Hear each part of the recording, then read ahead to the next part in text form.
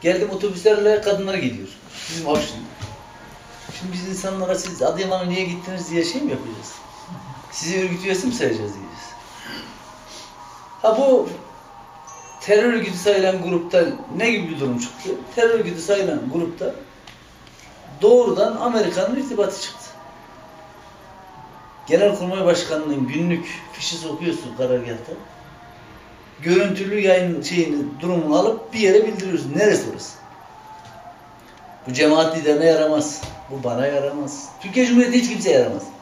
Genelkurmay Başkanımızın ne yaptığından kimin ne şeyi lazım? Resim makamlarının şey, resim makamları zaten gerekli şeyi yapıyorlardır.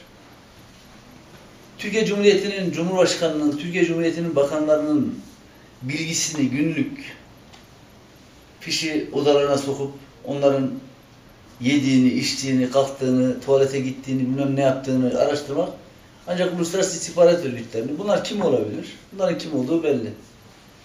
Gece saat 2'ye kadar tarafları barış ve itidale çağırıyoruz diyenlerin gece saat 3'e kadar Türkiye Cumhuriyeti'nde asker yönetime el koymuştur diyen BBC'nin Amerika Dışişleri Bakanı Kerry'nin 45 gün Türkiye'ye uğrama nezaketi bile göstermiyor. Ya Türkiye'de 241 insan öldü.